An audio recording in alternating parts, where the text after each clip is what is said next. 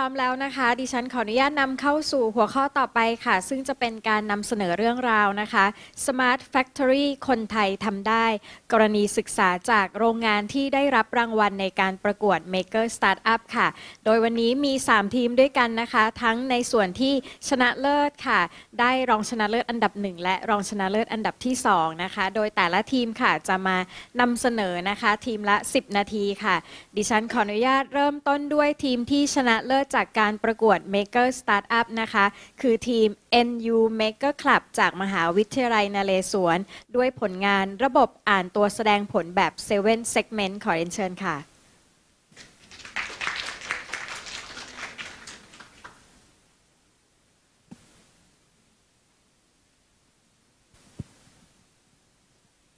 ค่ะก็สวัสดีทุกท่านนะคะดิฉันวันสุรีนะคะเป็นตัวแทนจาก NU Mega Club มหาวิทยาลัยนเรศวรนะคะผลงานของเราค่ะมีชื่อว่า Universal Seven Segment Reader นะคะเอ่อเราได้ร่วมงานกับบริษัทวุฒิศักดิ์ Aesthetic Care ในการสร้างผลงานชิ้นนี้นะคะ ก็จริงๆแล้วเราเป็น Mega Club เล็กๆ ที่มาจากต่างจังหวัดนะคะ ก็รู้สึกแบบยินดีมากที่ที่ n e c t e c h มีโครงการนี้ เพื่อที่เราเนี่ยสามารถจะ ได้ร่วมแก้ปัญหากับทางโรงงานในสถานการณ์จริง เพราะว่าจริงๆแล้วจากการที่เป็นคนที่อยู่ในมหาวิทยาลัยเนี่ยเราจะเห็นงานวิจัยเนี่ยเยอะมาก แล้วงานวิจัยที่ขึ้นหิ้งเนี่ยมันมันเยอะมากเราอยากจะเอาสิ่งเหล่านั้นเนี่ยมาแก้ปัญหาได้นี่สิ่งที่เรามีความสามารถมีทักษะในในด้านงานวิจัยเนี่ยก็คือเรื่องของ computer vision เราเลยเอาสิ่งนี้เนี่ยค่ะมาใช้ในการอ่านแล้วก็เก็บข้อมูลหน้าปัดดิจิทัลให้กับทางโรงงานนะคะนี้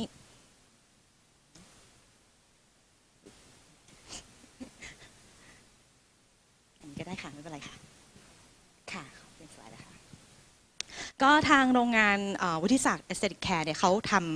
ำผลิตเครื่องเวชสำอางกับพวกครีมทาหน้าอะไรพวกนี้นะคะปัญหาของเขานี่ค่ะก็คือตอนที่เขาจะผสมเครื่องอะไรต่างๆเนี่ยเขาต้องการจะอ่านแล้วก็เก็บข้อมูลตัวนี้ไว้ไปค่ะน้องที่เขาคุมครีเอ่อคุมเครื่องเนี่ยค่ะเขาจะต้องมีการ ทำงานกับเจ้าเครื่องทำงานไปด้วยเหมือนกับปรับพารามิเตอร์อะไรต่างๆ ของคนเครื่องไปด้วย แล้วก็เก็บข้อมูลเหล่านี้เนี่ยในกระดาษไปด้วย ซึ่งการที่ต้องทำอะไรหลาย ๆ อย่างพร้อม ๆ กันเนี่ยมันก็เป็นปัญหาสำหรับน้องเขาใช่ไหมคะ แล้วก็ไอ้เจ้าข้อมูลที่เขาต้องอ่านเนี่ยทางทำงานต้องอ่านต้องการให้เราอ่านเนี่ยค่ะมีถึง 7 ข้อมูลด้วยกัน เป็นพวกอุณหภูมิ พวกออรอบของมอเตอร์ แล้วก็กระแสที่ใช้ในมอเตอร์นะคะ ถ้าท่านสังเกตก็จะเห็นว่าตรงเนี้ยมันเป็นหน้าปัดดิจิทัลหมดเลยใช่ไหมคะเป็นตัวเลขแบบดิจิทัลหมดเลย ปกติแล้วเวลาที่จะอ่านข้อมูลให้มันเที่ยงตรงจริงๆเนี่ยเราก็อยากจะเอาพวกสาย serial หรือสาย CAT หรือสายอะไรเข้าไปเสียบกับเครื่องตรงๆใช่ไหมคะแต่ว่าทำอย่างนั้นเนี่ยมันเป็นการแก้ปัญหาที่มันมันมันไม่ universal อะคือใช้เครื่องหนึ่งโปรโตคอลก็ต่างกัน เราก็เลยคิดว่าเอ๊ะทำยังไงดีที่จะมาแก้ปัญหาเขาโดยที่ไม่จำเป็นที่เฉพาะเจาะจงกับเครื่องนี้อย่างเดียว อาจจะโรงงานอื่นๆใช้ได้ด้วยนะคะ นั้นปัญหาของของที่เราเห็นที่เราไปคลุกคลีกับทางโรงงานมาเนี่ยเราก็เห็นว่าหนึ่งละการเก็บข้อมูลของเขาเนี่ยมันมีปัญหาเก็บใส่กระดาษ แล้วก็เก็บทีเนี่ยเออมันมันไม่เป็นขั้นมันมันไม่ต่อเนื่องใช่ไหมคะไม่ต่อเนื่อง แล้วก็ไอ้ข้อมูลที่มันอยู่บนกระดาษเนี่ยเวลาที่ QC กับ R&D เขาจะไป access แต่ละทีเนี่ยมันยากด้วยใช่ไหมคะและสิ่งสุดท้ายก็คือถ้าทางโรงงานเนี่ยเขาไม่มีการ มอนิเตอร์ข้อมูลมอนิเตอร์พวกสิ่งต่างๆ เหล่านี้อย่างต่อเนื่องเนี่ยค่ะ อะไรจะเกิดขึ้นถ้าอุณหภูมิมันสูงเกินไป หรือรอบมันเร็วเกินไป เหล่านี้ค่ะมันจะทำให้ทางโรงงานในสูญเสีย พวกทางทางด้านเครื่องสำอางถ้ามันเสียขึ้นหรือว่าเจ้าตัวเครื่องจักรเขาเสียเนี่ยมันก็เกิดความเสียหายให้กับทางโรงงานได้ใช่ไหมคะค่ะทางเราค่ะก็เลยเสนอโซลูชันขึ้นมานะคะ ด้วยด้วย strength ของพวกเราก็คือทาง Computer Vision เราใช้ Raspberry Pi ค่ะ ในการอ่านค่าพวกนี้ OpenCV เนาะแล้วก็อ่านค่าตัวเลขเนี่ยค่ะ เมื่อเราได้ตัวเลขที่เราอ่านค่าเรียบร้อยแล้วถูกต้องแล้วเนี่ยค่ะ เราก็ส่งผ่านไปทาง NetPi นะคะ เพื่อที่จะได้เอาไปแสดงผลบนเว็บให้กับทางพนักงานทางผู้จัดการเนี่ยสามารถเข้าถึงได้ทั้งทางมือถือแล้วก็ทาง PC ด้วย นอกจากนั้นเนี่ยค่ะ เราก็มีการสร้าง เจ้าตัว local database ให้เขาเพื่อที่เขาจะได้เก็บข้อมูลเหล่านี้เนี่ยเอาไปศึกษาพัฒนาต่อได้นะคะ แล้วก็มีการแจ้งเตือนในกรณีที่มีปัญหาเกิดขึ้นกับเครื่องมือหรือว่าเครื่องส่วนผสมของเขาต่างๆนะคะ ผ่านทาง Line notification นะคะ นั่นก็คือระบบของเราที่เราได้นำเสนอแล้วก็สร้างให้กับโรงงานค่ะ ทีนี้ ในส่วนของฮาร์ดแวร์ที่พวกเราสร้างนะคะจริงๆมันก็จะเป็น unit ที่ที่ค่อนข้างจะไม่ซับซ้อนมาก เพราะว่าเรามีแค่ Raspberry Pi หนึ่งตัว มี touch screen ให้เขานะคะเวลาเวลาที่เขาจะไป interface บน Factory Floor นะคะแล้วก็มีเจ้าตัวเว็บแคมค่ะ ที่เป็นส่วนสำคัญในการอ่านค่าจากทางหน้าปัดของตัว machine นะคะ นั่นคือส่วนของอุปกรณ์ ซึ่งต้นทุนของอุปกรณ์เนี่ยก็ประมาณ 5,000 บาทเท่านั้นนะคะ แล้วก็สิ่งที่เราสร้างขึ้นมาเนี่ยเราสามารถเอาไปตั้ง ตรงข้างหน้าสิ่งที่เราต้องการจะอ่านนะคะ แล้วก็ calibrate ทำการ calibrate ขึ้นมาเมื่อ plug in กับอินเทอร์เน็ตแล้วก็สามารถใช้งานได้ทันทีนะคะค่ะและนี่ก็เป็นตัวอย่างนะคะของ notification ที่เราทำให้กับทางโรงงานนะคะมีการเริ่ม batch แล้วนะ เตือนเขาว่าเออตอนนี้คุณกำลังเริ่ม mix แล้วนะ มีน้องเขาอยู่ตรงหน้าหน้าตู้ เริ่มทำการผสมส่วนเอ่อเครื่องผสมแล้ว แล้วก็ถ้า มีเหตุการณ์ผิดปกติเกิดขึ้น ก็จะมี warning ส่งไป เพื่อจะได้คนที่เขามีส่วนเกี่ยวข้องเนี่ยจะได้เข้ามาแก้ปัญหาตรงนั้นได้ทันท่วงทีค่ะค่ะค่ะก็ส่วนนี้ก็เป็นถ้าท่านที่ทำงานกับเน็ตพายก็จะ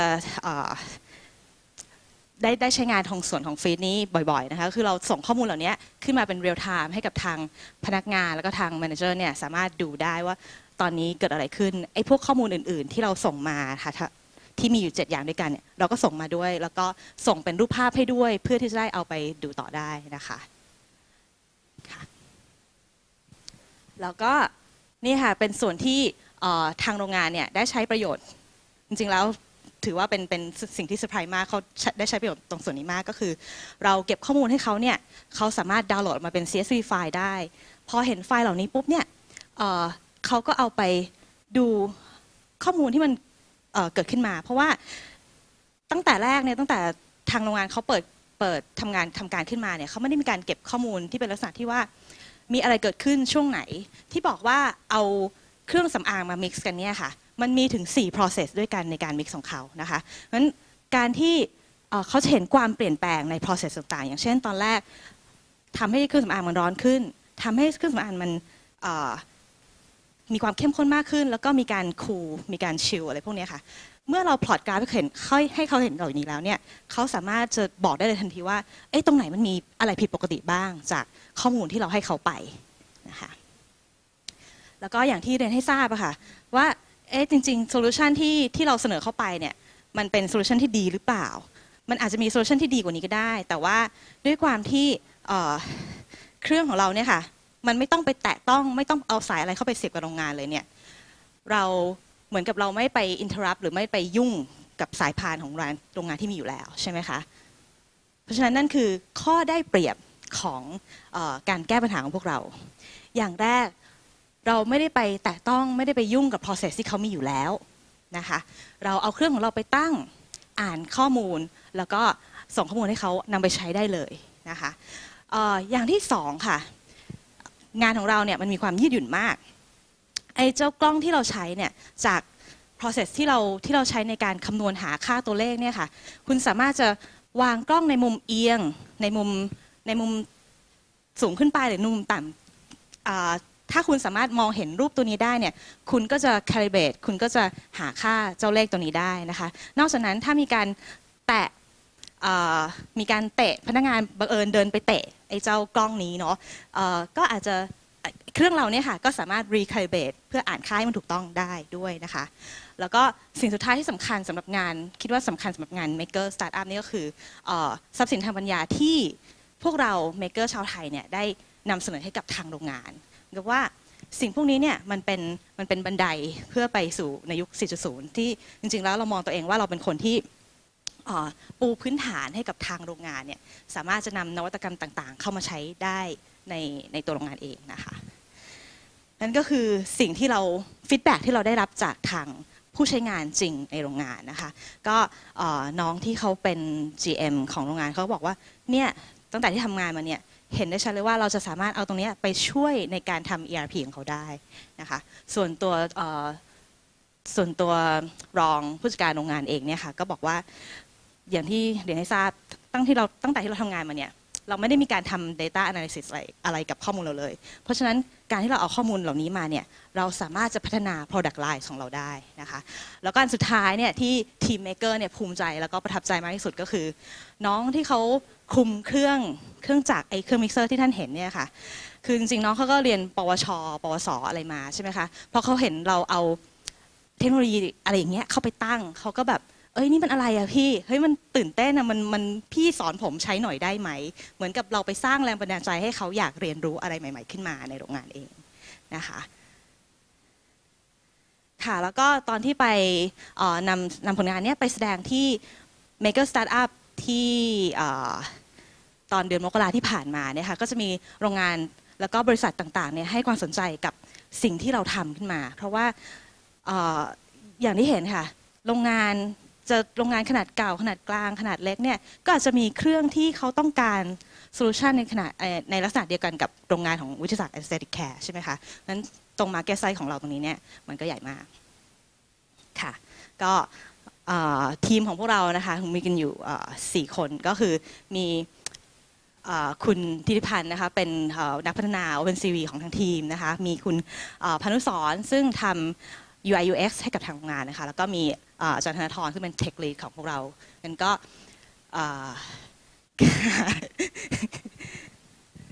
ก็ก็ก็ต้องบอกว่ายินดีเป็นอย่างยิ่งที่มีโครงการ Maker Startup ให้เราขึ้นมานะคะ แล้วก็หวังว่าน้องๆที่มานั่งฟังในนี้ค่ะ ปีหน้าอาจจะได้มาร่วมโครงการกับทาง n e c t e c h ขึ้นค่ะ ค่ะ ต้องขอขอบพระคุณนะคะ ทีม NU Maker Club ค่ะ จากมหาวิทยาลัยนเรศวรค่ะ เรามาต่อกันนะคะ ที่ทีมที่ได้รับรางรางวัลรองชนะเลิศอันดับหนึ่งค่ะ นั่นก็คือทีม The Technology Heat นะคะ จากมหาวิทยาลัย ราชภัฏพิบูลสงคราม ด้วยผลงานที่มีชื่อว่า ระบบติดตามและแจ้งเตือนสถานะการทำงานเครื่องจักรผ่านเน็ตพายค่ะ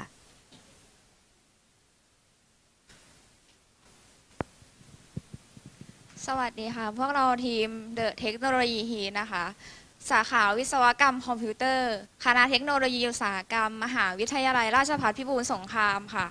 ระบบของเรานะคะ ชื่อระบบติดตามและแจ้งเตือนสถานะการทำงานของเครื่องจักรผ่านเน็ตพายค่ะ ซึ่งโครงการนี้นะคะ เราก็ได้เข้าร่วมกับทาง n e c t e c h ค่ะ เป็นผู้จัดโครงการ Maker Startup แล้วเราก็ได้มีโอกาสจับคู่กับทางโรงงานก้องเกียรติเท็กซ์ไทค่ะ ก็อันนี้จะเป็นปัญหาของทางโรงงานนะคะ ที่พบก็จะเป็นส่วนของมอเตอร์เครื่องพันได้ แล้วก็ของห้องปั่นได้ค่ะ ก็มอเตอร์จะมีทั้งหลักๆนะคะ ทั้งหมด 13 ตัว ซึ่งแต่ละตัวเนี่ยใน 1 ปีจะเสียประมาณ 2 ครั้งค่ะ ซึ่งจะเป็นครั้งละ 25,000 บาท ถ้ารวมทั้งหมดใน 13 ตัวใน 1 ปีเนี่ยจะเป็น 650,000 บาทค่ะ แล้วก็ในส่วนของห้องปั่นได้นะคะายใน 1 ปีเนี่ยต้องหยุดประมาณ 20 ครั้งค่ะ ซึ่งสร้างความเสียหายประมาณ 30,000 บาทต่อครั้ง ซึ่งรวมทั้งหมด 2 ห้องนี้นะคะ ในส่วนของมอเตอร์แล้วก็ห้องปั่นได้ค่ะ จะเป็นเสียหายประมาณ1ล้าน2แสน5หมื่นบาทต่อปีค่ะ แล้วก็โจทย์ที่เราได้รับจากทางโรงงานนะคะ จะมีอยู่ 2 ส่วนค่ะ ในส่วนของการมอนิเตอร์แบบ real time ในส่วนของ มอเตอร์ความร้อนที่ใช้ปั่นด้าย แล้วก็ในส่วนของอุณหภูมิความชื้นที่ในห้องปั่นด้ายค่ะ แล้วก็สองนะคะให้มีการแจ้งเตือนผ่านไลน์ค่ะ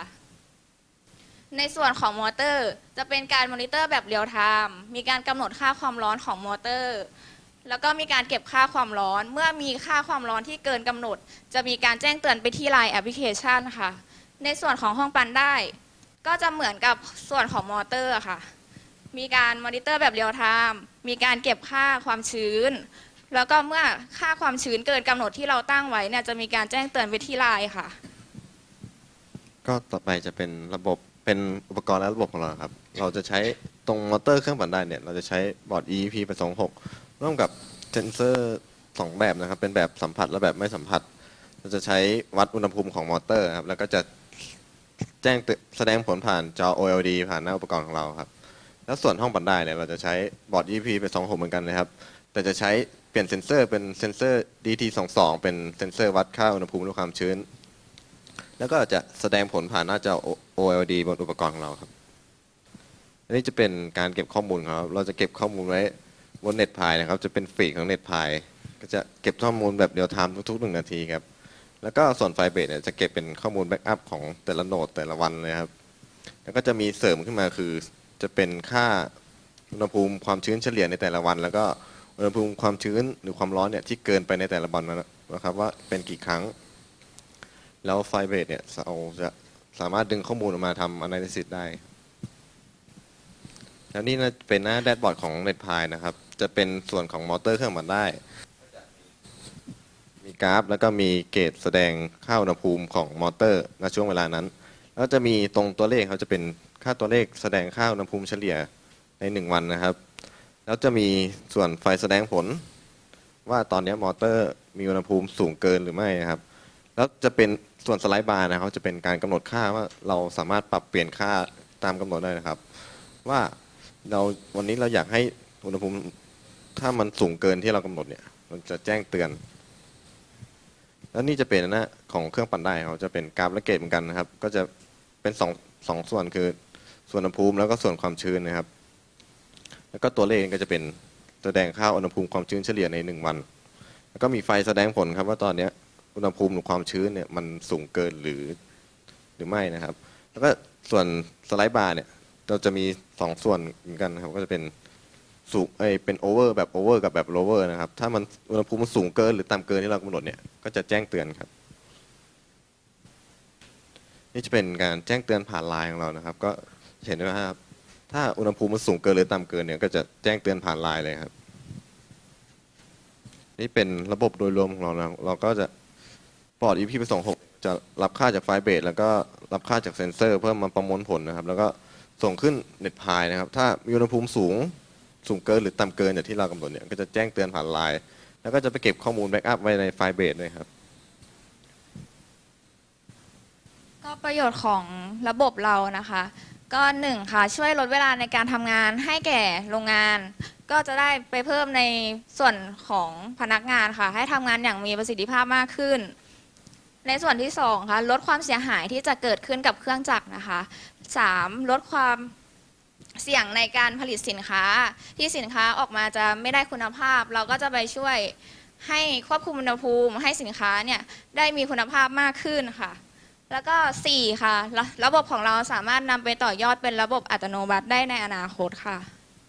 ก็ขอจบการนำเสนอเพียงเท่านี้ค่ะ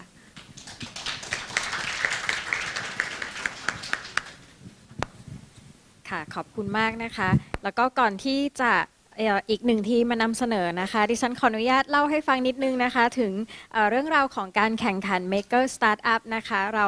จัดขึ้นนะคะ จริงๆ เราเปิดรับสมัครโครงการตั้งแต่เดือนตุลาคมปีที่ผ่านมานะคะ ในหัวข้อโรงงานอัจฉริยะค่ะ ภายใต้การสนับสนุนจากหน่วยงานต่างๆนะคะ ได้แก่สำนักงานคณะกรรมการ กิจการกระจายเสียง กิจการโทรทัศน์ และกิจการโทรคมนาคมแห่งชาติ หรือ กสทช ค่ะ มี n e c t e c h นะคะศูนย์เทคโนโลยีอิเล็กทรอนิกส์และคอมพิวเตอร์แห่งชาติ that. แล้วก็บริษัท Gravitech Thai Thailand จำกัดนะคะ ร่วมด้วยกสิกร Business Technology Group หรือ KBTG ค่ะ ซึ่งต้องบอกว่าเป็นครั้งแรกในประเทศไทยนะคะ ที่เราจัดให้มีเวทีแข่งขันค่ะ โดยเป็นการจับคู่ maker นะคะ อย่าง 2 ทีมที่ผ่านมาก็เป็น maker จากมหาวิทยาลัยนะคะ ร่วมกับทางโรงงานภาคอุตสาหกรรมนะคะ อย่างเช่นวุฒิศักดิ์ Aesthetic Care นะคะ หรือว่าเป็นก้องเกียรติ Textile เอ่อเขาจะจับมือกันค่ะ โดยที่ n e c t e c h นะคะจะสนับสนุนแพลตฟอร์มชิ้นหนึ่งค่ะที่มีชื่อว่า NETPIE ที่สามารถช่วยอำนวยความสะดวกนะคะในการเชื่อมต่ออุปกรณ์ในโรงงาน แล้วก็ทำเป็นแอปพลิเคชันต่างๆ แบบที่เมื่อสักครู่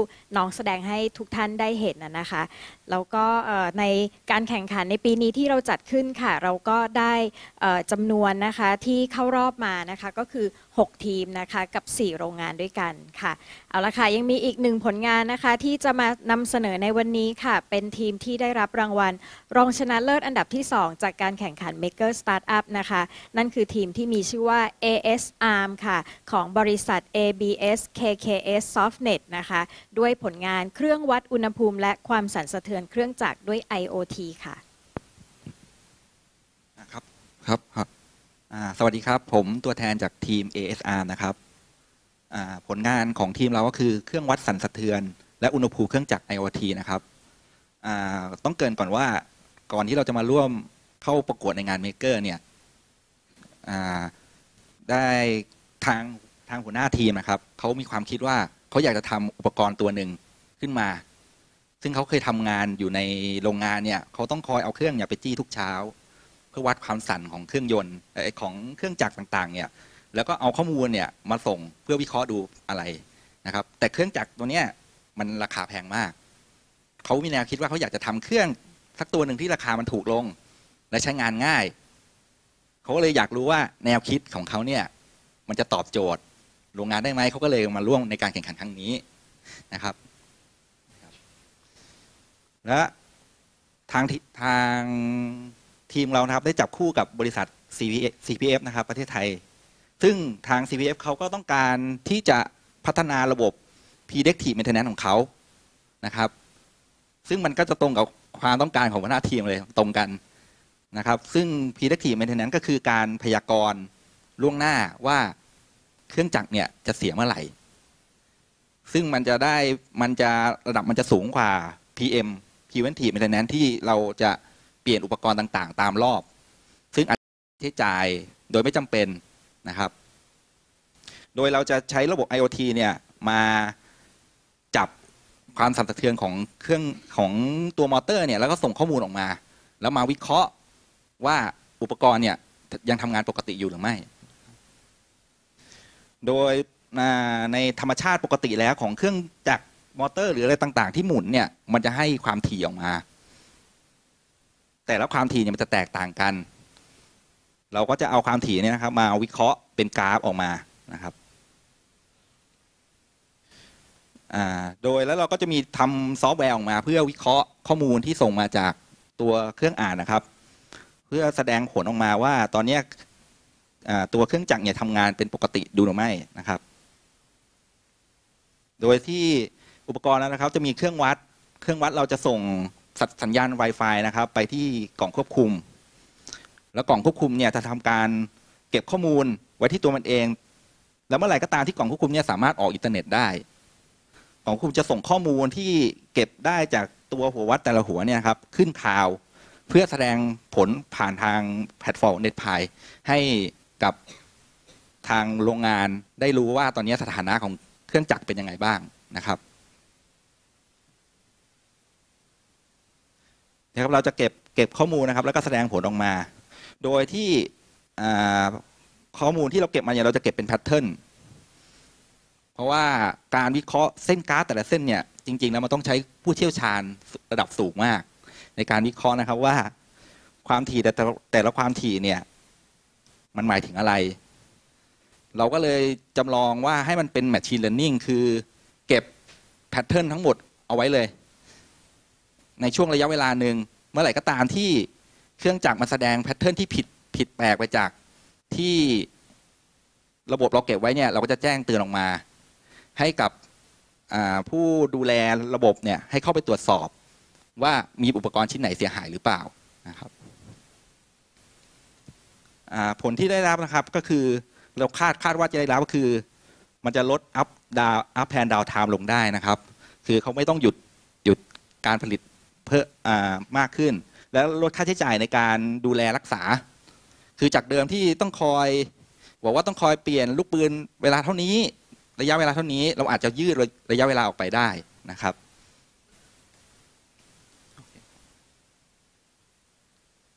จุดเด่นจุดเด่นของ product เราครับก็คือ เราจะใช้เป็นระบบ Machine Learning เพื่อเปรียบเทียบข้อมูลนะครับ เก็บเก็บข้อมูลเอาไว้ เมื่อไหร่ก็ตามที่มีความเสียหายเกิดขึ้น เราก็จะบันทึกเอาไว้ว่ารูปแบบ pattern เนี่ยมีการเสียหาย ต่อไปถ้าเกิดอุปกรณ์เนี่ยมันอ่านค่าวัดนี้ได้ปุ๊บ เราก็จะรู้ได้ทันทีว่าอุปกรณ์ชิ้นไหนที่เสียหาย โดยที่เราอาจจะไม่ต้อง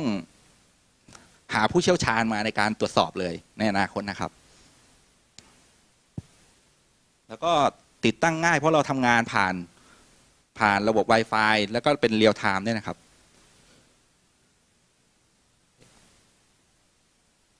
จบแล้วครับ ขอบคุณครับ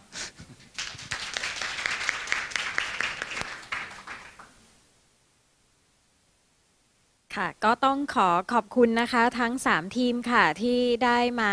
ร่วมนำเสนอผลงานในวันนี้นะคะ ก็หากทุกท่านยังสนใจนะคะว่าในแต่ละทีมค่ะ ระบบนะคะ หรือว่าเครื่องไม้เครื่องมือที่เขาพัฒนาขึ้นทำงานยังไง ก็เดี๋ยวช่วงเลิกนะคะ เรายังให้เวลาทุกท่านนะคะ ไปรับชมได้ที่บูธแสดงผลงานค่ะ